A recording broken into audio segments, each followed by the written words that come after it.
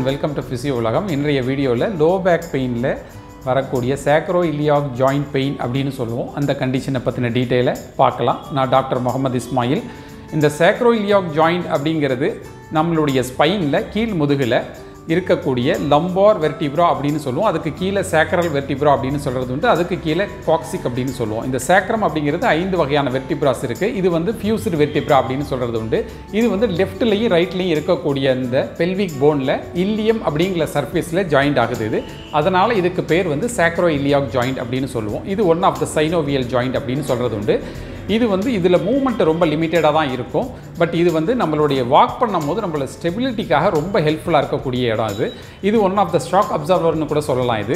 Problem வந்து வர்றது என்னன்னு பார்த்தீங்கன்னா இதில் வந்து உங்களுக்கு ஸ்ட்ரெயின் ஆகிறது டிஸ்ஃபங்க்ஷன் ஆகிறதுனால பெயின் வர்றது உண்டு. இதில் மெயினாக பார்த்தீங்கன்னா என்னென்னா ஸ்பைனில் வந்து உங்களுக்கு ஏதாவது ஒரு அப்நார்மாலிட்டிஸ் இருந்து ஆங்கிலோசிங் ஸ்பாண்டிலைட்டிஸ் அப்படின்னு சொல்லுவோம். அந்த கண்டிஷன்லையும் வர்றது உண்டு. அதே மாதிரி ஸ்கோலியோசிஸ் அப்படின்னு சொல்கிறது உண்டு. இது வந்து லேட்ரல் கர்வேச்சர் அப்படின்னு சொல்லுவோம். ஸ்பைனு பெண்ட் ஆகிறது. அந்த கண்டிஷன்லையும் இது வந்து உங்களுக்கு வர்றதுக்கான வாய்ப்புகள் உண்டு. அதே மாதிரி பார்த்தீங்கன்னா ரொம்ப நாள் ஒரே இடத்துல ப்ரொலாங்டு செட்டிங்கில் இருக்கிறவங்க ஒரே இடத்துல ரொம்ப ஸ்ட்ராண்டிங்கில் இருக்கிறது மெக்கானிக்கல் ஸ்ட்ரெஸ் அப்படின்னு சொல்லுவோம். அந்த மாதிரி கண்டிஷன்லையும் இந்த மாதிரி ப்ராப்ளத்தை வந்து நம்ம ஃபைண்ட் அவுட் பண்ணலாம். அது இது மட்டும் இல்லாமல் லிம்பு லென்த் டிஸ்கிரிபன்சி அப்படின்னு சொல்லுவோம். லிம்பில் வந்து லெஃப்ட் ரைட்டு லிம்பில் வந்து கால்களில் வந்து உங்களுக்கு அளவில் மாறுபடும் போது ஏதாவது போஸ்ட் ஆப்ரேட்டிவாக ஃப்ராக்சர் ஆகியோ ஏதாவது இன்னும் சில காரணங்கள்னால உங்களுக்கு அதில் ஏதாவது உங்களுக்கு ஹைக் பண்ணி நடக்கும் போது அதனால் கூட இம்ப்ராப்பராக வந்து நம்மளுடைய அலைன்மெண்ட் இருக்கும் போது அதனால் கூட உங்களுக்கு வர்றதுக்கான வாய்ப்புகள் உண்டு. அதே மாதிரி டெண்டலன் பர்க் ஸ்கேட்னு சொல்லுவோம். அந்த மாதிரி கண்டிஷன்ஸ்லையும் வர்றது உண்டு உங்களுக்கு. இதில் மெயினாக இப்போ உட்காரும் போது பார்த்தீங்கன்னா நிறைய பேர் பண்ணுற மிஸ்டேக்ஸ் முன்பக்கமாக கொஞ்சம் இன்க்ளைண்டாக உட்காருவாங்க. முன்பக்கம் கால் வந்துடும் அதே மாதிரி பெண்டாகி உட்காரும் போது உங்களுக்கு பேக்குக்கும் ஹிப்புக்கும் நடுவில் கேப் இருக்கும் அது. அந்த மாதிரி கேப்பாக ரொம்ப நாள் அந்த மாதிரி இருந்து உட்கார உட்கார உட்கார அது மெக்கானிக்கல் ஸ்ட்ரெயின்னு சொல்லுவோம். அந்த இதில் மெக்கானிக்கல் ஸ்ட்ரெஸ் ஆக ஆக ஆட்டோமேட்டிக்காக உங்களுக்கு ஸ்ட்ரெயின் ஃபார்ம் ஆகிடும் உங்களுக்கு இந்த ஸ்ட்ரெயின் உண்டாகும் போது ஸ்டிஃப் ஆகி உங்களுக்கு அதனாலையும் வழி வர்றது உண்டு உங்களுக்கு. இந்த காரணங்களில் உங்களுக்கு வந்து பெயின் வந்து சப்போஸ் அந்த மாதிரி உங்களுக்கு பெயின் இருந்துச்சுன்னா உங்களுக்கு மெயினாக எந்தெந்த ஏரியாவில் பெயின் வரும் அப்படின்னு பார்த்தீங்கன்னா இனிஷியலாக வந்து இது வந்து மெயினாக அந்த சேக்ரோலியாக் ஜாயிண்ட் இருக்கிறதே பார்த்தீங்கன்னா போஸ்டீரியர் சுப்பீரியர் இலியாக் ஸ்பைன் அப்படின்னு சொல்லுவோம். அந்த இடத்துல வந்து மீடியலாகவும் இன்ஃபீரியராகவும் தான் அந்த ஜாயிண்ட் இருக்குது அந்த இடத்துல தான் உங்களுக்கு காமனாக வந்து பெயின் ஃபஸ்ட்டு வந்து நீங்கள் வந்து ஃபீல் பண்ணலாம்.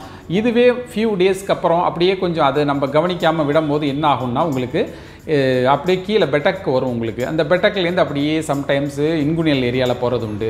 சம்டைம்ஸ் சில பேருக்கு க்ராயினில் வழி வர்றது உண்டு. சில பேருக்கு பார்த்தீங்கன்னா கால்லையும் பரவுறது உண்டு. இதனால் என்ன கன்ஃபியூஸ் ஆகிடும்னா பொதுவாகவே பேக் பெயின் வந்துச்சுன்னா இது எஸ்ஐ ஜாயிண்ட் பெயின் அப்படின்னு யாருக்கும் டக்குன்னு ஃபைண்ட் அவுட் பண்ண முடியாது. இது வந்து ஒன்லி கிளினிக்கல் ஃபைண்டிங்ஸில் ஈஸியாக ஃபைண்ட் அவுட் பண்ணலாம். இது மட்டும் இல்லாமல் எம்ஆர்ஐ இதெல்லாம் பார்ப்பாங்க பட் எல்லாத்தோட உங்களுக்கு பெட்டராக நம்ம வந்து ஃபைண்ட் அவுட் பண்ணணும்னா கிளினிக்கல் ஃபைண்டிங்ஸில் நல்லாவே இது கண்டுபிடிக்க முடியும் இது. இது அதே மாதிரி ப்ராப்பராக நீங்கள் வந்து டெஸ்டெல்லாம் இருக்குது அந்த டெஸ்ட்டும் பண்ணி பார்த்துட்டு நீங்கள் இது இந்த ப்ராப்ளம் தான் அப்படின்னு தெரிஞ்சிருச்சுன்னா இதுக்கு உண்டான பயிற்சிகள்லாம் பண்ணும்போது வந்து உங்களுக்கு நல்லாவே ஒரு ரிலீஃப் இருக்கும். இதுக்கு உண்டான டெஸ்ட்டு என்ன அப்படிங்கிறது வந்து நான் இப்போ உங்களுக்கு செஞ்சு காட்டுறேன். இந்த சேக்ரோயிலியாக் பெயின் அப்படிங்கிறது வந்து உங்களுக்கு லெஃப்ட்லேயும் வர்றது உண்டு ரைட்லேயும் வர்றது உண்டு. சம்டைம்ஸ் சில பேருக்கு போத் சைடும் வர்றது உண்டு. இப்போ நான் வந்து ஒரு ஃபார் எக்ஸாம்பிள் லெஃப்ட் சைடில் பெயின் இருந்துச்சுன்னா அதுக்கு உண்டான டெஸ்ட் எப்படி செஞ்சு பார்க்குறது அப்படிங்கிறத நான் இப்போ செஞ்சு காட்டுறேன் இது. ஃபஸ்ட்டு என்ன பண்ணுறோன்னா கையை வந்து மேலே தூக்கி இப்படி வச்சுக்கிறோம். வச்சுக்கிட்டு மெதுவாக எந்த side for example left side எனக்கு பெயின் இருக்குது லெஃப்ட் சைடு நான் டேர்ன் பண்ணுறேன் லெஃப்ட் சைடு டேர்ன் பண்ணிவிட்டு லெஃப்ட் சைடு நல்லா வந்து டிஸ் பண்ணுறோம் டிஸ் பண்ணிவிட்டு என்ன பண்ணுறது அதுக்கப்புறம் கையை மேலே கொண்டு போய்க்கிறது. கையை மேலே கொண்டு போயிட்டு அப்படியே ஆப்போசிட் சைடில் சாக்கிறீங்க ரைட் சைடு சாக்கிறேன் சாய்க்கும் போது உங்களுக்கு நல்ல ஒரு டிங்கிளிங் சென்சேஷன் பெயின் அந்த ஜாயிண்டில் பெயின் தெரியும். அதே மாதிரி ரேடியேட் ஆகும் உங்களுக்கு பெயின் இதில் வந்து நம்ம ஈஸியாக ஃபைண்ட் அவுட் பண்ணிக்கலாம். இதில் வந்து பெயின் இருக்குது நமக்கு வந்து எஸ்ஐ ஜாயின் ப்ராப்ளம் இருக்குது அப்படிங்கிறத வந்து ஈஸியாக ஃபைண்ட் அவுட் பண்ணிக்கலாம்.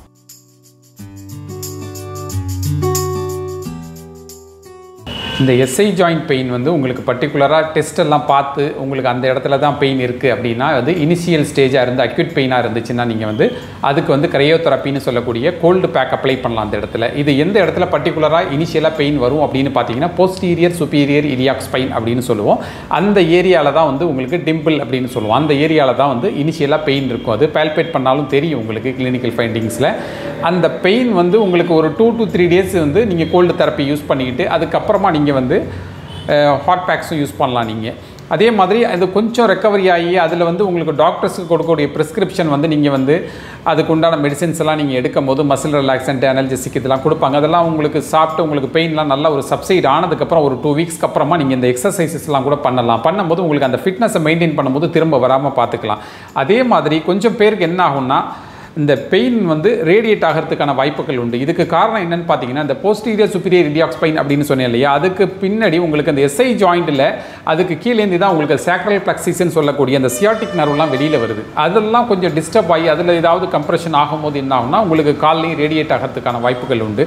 இந்த பெயின் வந்து ரேடியேட் ஆகும்போது அதுக்கு உண்டான நம்ம வந்து ட்ரீட்மெண்ட்டு ப்ராப்பராக எடுத்து அது மட்டும் இல்லாமல் உங்களுக்கு ஒரு வித ஸ்ட்ரென்தனிங் எக்ஸசைஸ் ஸ்ட்ரெச்சிங் எக்ஸசைஸ்லாம் இருக்குது இதுக்காக ஸ்பெசிஃபிக்காக அதெல்லாம் நீங்கள் வந்து வீட்டில் செய்யும் போது நல்லாவே ஒரு ஒரு பெயின் குறைஞ்சி நல்ல ஒரு ரெக்கவரி கிடைக்கும் உங்களுக்கு.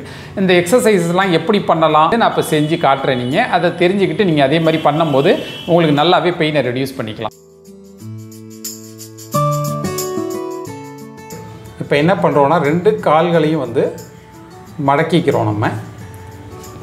மடக்கி வச்சுட்டு இப்போ செய்யக்கூடிய பயிற்சி வந்து மூமெண்ட் எதுவும் செய்ய போகிறதில்ல ஜஸ்ட் ப்ரெஸ் பண்ணி விட போகிறேன் இது. இது ஐசோமெட்ரிக் கன்ட்ராக்ஷன் அப்படின்னு சொல்லுவோம். இது ஸ்ட்ரென்தனிங்காக உள்ளது. இப்போ வந்து லெஃப்ட் லெக் பெயின் இருக்குன்னா ஃபார் எக்ஸாம்பிள் இப்போ நான் என்ன பண்ணுறேன் லெஃப்ட் லெக்கில் வந்து ஃபஸ்ட்டு பெண்ட் பண்ணி 90 டிகிரி சிப்பை நீ வச்சுக்கிறேன். அந்த நீ ஜாயிண்ட்டுக்கிட்ட கையை வச்சுக்கிறேன். மேல் பக்கத்தில் கை வச்சுக்கிறேன்.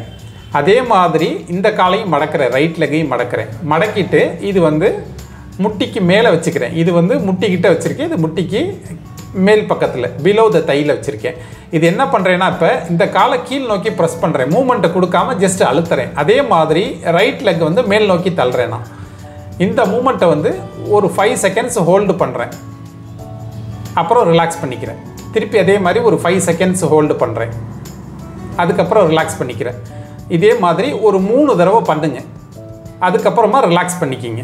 இதே மாதிரி ஒரு ஒரு த்ரீ டு ஃபைவ் டைம்ஸ் பண்ணலாம். உங்களால் எந்த அளவுக்கு முடியுமோ அந்த அளவு செய்யுங்க. ஜென்டலாக பண்ணுங்கள் ரொம்ப ஸ்ட்ரெஸ் பண்ணி பண்ணாமல் ஜென்டலாக பண்ணணும் நீங்கள் அதே மாதிரி ஆப்போசிட் லெக் இப்போ ரைட் லெக்கை அதே மாதிரி பண்ண போகிறேன் அது எப்படின்னு பார்த்தீங்கன்னா அதே மாதிரி நீயை பென் பண்ணி இந்த நீ ஜாயிண்ட்டுக்கு மேலே வந்து கையை வச்சுக்கிறேன். ஒரு கையை ரைட் லெக்கு வந்து சப்போர்ட் பண்ணி. இதில் வந்து லெஃப்ட் லெக்கை பெண்ட் பண்ணி அதே மாதிரி வச்சுட்டு இந்த பிலோ த தை அந்த த- த- தைக்கு கீழ் பாகத்தில் நான் வச்சுக்கிறேன்.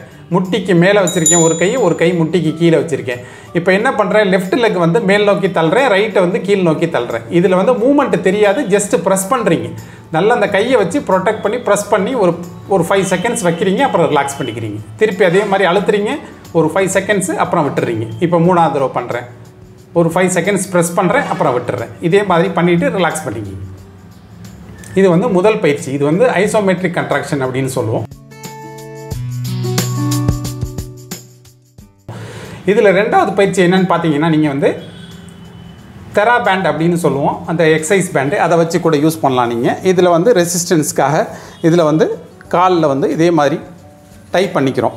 போட்டுக்கிட்டு இது என்ன பண்ணுறீங்கன்னா இப்போ இடுப்பை வந்து மேல் நோக்கி தள்ளுறீங்க. மேலே தூக்கிட்டு இடுப்பை பெல்விக் பிரிட்ஜிங்னு சொல்லுவோம். அதே மாதிரி தூக்கிட்டு இந்த காலை ரெண்டையும் வெளியில் விரிக்கிறீங்க. அவுட் சைட் கொண்டு போகிறீங்க ரெண்டு காலையும். கொண்டு போயிட்டு இதே மாதிரி ஒரு five to ten seconds hold பண்ணுங்கள் அதுக்கப்புறமா நியூட்ரல் பொசிஷன் வந்துடுங்க அப்புறம் பெல்லிஸை கீழே விட்டுருங்க. அதே மாதிரி இடுப்பை லிஃப்ட் பண்ணுறோம் தென் காலை வெளிப்பக்கமாக தள்ளுறோம். அந்த ரெசிஸ்டிவ் பேண்டில் செய்யும் போது நல்லா எஃபெக்டிவாக இருக்கும் உங்களுக்கு. மசில் கன்ட்ராக்ஷன் நல்லா கிடைக்கும் ஸ்ட்ரென்த்தன் ஆகும் நல்லா. அதே மாதிரி ஒரு ஃபியூ செகண்ட்ஸ் வைக்கிறோம். ஒரு ஃபைவ் டு டென் செகண்ட்ஸ் உங்களால் முடிஞ்ச அளவு வச்சுட்டு அதுக்கப்புறமா நியூட்ரல் பொசிஷன் கொண்டு வரீங்க. தென் டேக் இட் டவுன் இதே மாதிரி ஒரு ஃபைவ் டைம்ஸ் பண்ணுங்கள் முதல்ல. அதுக்கப்புறமா நீங்கள் கூட அதிக அளவில் செய்யலாம் நீங்கள் இது வந்து ஒரு நாளைக்கு ரெண்டுலேருந்து மூணு தடவை செஞ்சீங்கன்னா நல்லா எஃபெக்டிவாக இருக்கும் உங்களுக்கு. இதுக்கு அடுத்த பயிற்சி என்னன்னு பார்த்தீங்கன்னா முன்னாடி வந்து இப்போ வந்து லிஃப்ட் பண்ணிவிட்டு பெல்விக் பிரிட்ஜ் பண்ணி அப்டக்ஷன் பண்ணேன். இதுக்கு அடுத்தது இப்போ என்ன போகிறேன்னா இப்போ வந்து ஒரு பில்லோ வந்து நீ ரெண்டு நீக்கு நடுவில் வச்சுட்டு அடக்ஷன் பண்ண போகிறேன் அடக்ஷன் வித்து பெல்விக் பிரிட்ஜிங் பண்ணுறேன் இப்போ. இப்போ வந்து ரெண்டு முட்டியால் அழுத்தி இந்த பில்லோவை பிடிச்சிக்கிறேன். பிடிச்சி வச்சுட்டு அதுக்கப்புறம் மெதுவாக இடுப்பை தூக்குறேன் மேலே. தூக்கி ஒரு five to ten seconds hold பண்ணுறேன் அதுக்கப்புறமா ரிலாக்ஸ் பண்ணிக்கிறேன்.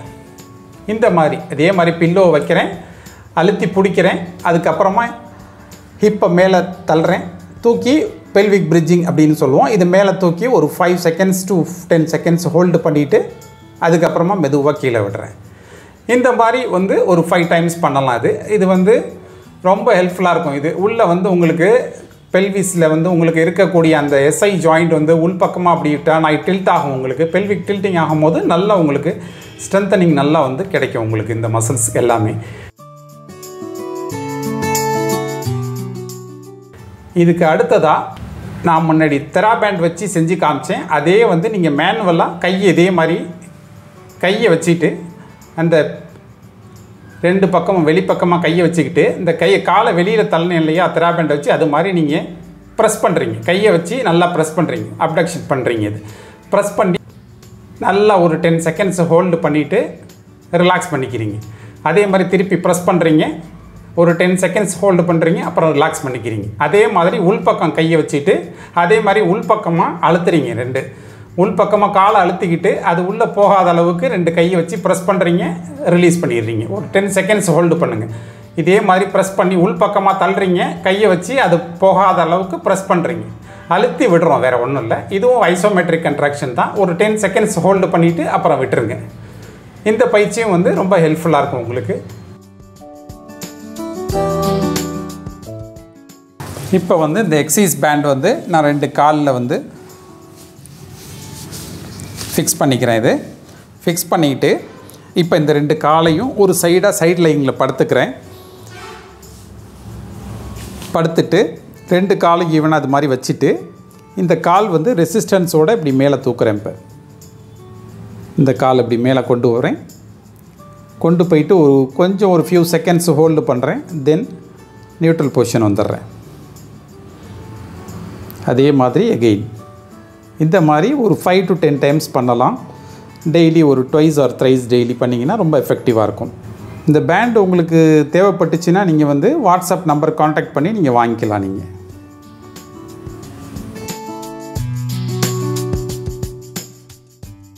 காலை வந்து உங்களுக்கு ஃபார் எக்ஸாம்பிள் உங்களுக்கு இப்போ வந்து ரைட் லெக் பெயின் இருக்குது அப்படின்னா வந்து ரைட் லெக் வந்து காலை வந்து மடக்கி வச்சுக்கிறோம் அது மாதிரி. நைன்டி நைன்ட்டியில் வச்சுக்கிறோம். ஹிப் பண்ணி நைன்டி டிகிரிஸில் வச்சுக்கிறோம். அதுக்கப்புறமா என்ன பண்ணுறோன்னா நம்ம வந்து ஹிப்பை வந்து ரொட்டேட் பண்ணுறேன்னா இந்த காலை உள்பக்கமாக கொண்டு போகிறேன் இதை. உள்பக்கமாக கொண்டு போயிட்டு இது என்ன பண்ணுறதுன்னா இப்போ எக்ஸ்டர்னல் ரொட்டேஷன் பண்ணிவிட்டு என்ன பண்ணுறேன் இப்போ எக்ஸ்டர்னல் ரொட்டேஷன் கொடுத்துட்டு அதே சமயம் ஒரு ரெசிஸ்டன்ஸ் கொடுக்குறேன். உள்பக்கம் எந்த பக்கம் உள்ளே போகுதோ காலம் அந்த சைடு வந்து ரெசிஸ்டன்ஸ் கொடுக்குறேன். கையால் அழுத்துறேன் அது.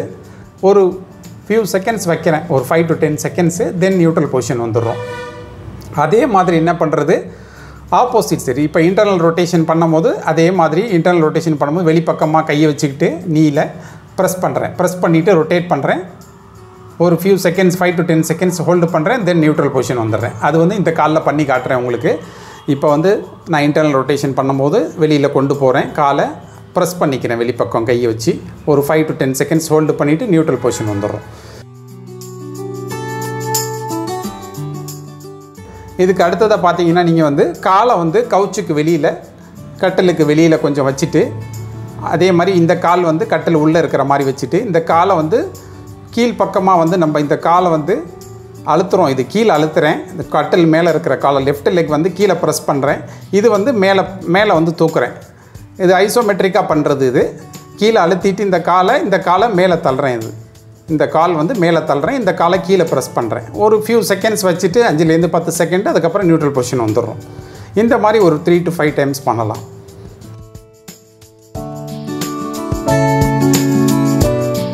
இந்த வீடியோ வந்து ரொம்ப ஹெல்ப்ஃபுல்லாக இருக்கும் அப்படிங்கிறத நம்புகிறேன் இந்த வீடியோ பிடிச்சிருந்துச்சின்னா அவசியம் லைக் பண்ணுங்கள் அதே மாதிரி மற்றவங்களுக்கும் ஷேர் பண்ணுங்கள் சப்ஸ்கிரைப் பண்ணாதவங்க அவசியம் சப்ஸ்கிரைப் பண்ணுங்கள் பக்கத்தில் இருக்கிற பெல் பட்டனையும் ப்ரெஸ் பண்ணுங்கள் அப்போ தான் உங்களுக்கு நான் போடுற எ- எல்லா வீடியோவும் நோட்டிஃபிகேஷன் உடனே உங்களுக்கு கிடைக்கும். நன்றி வணக்கம்.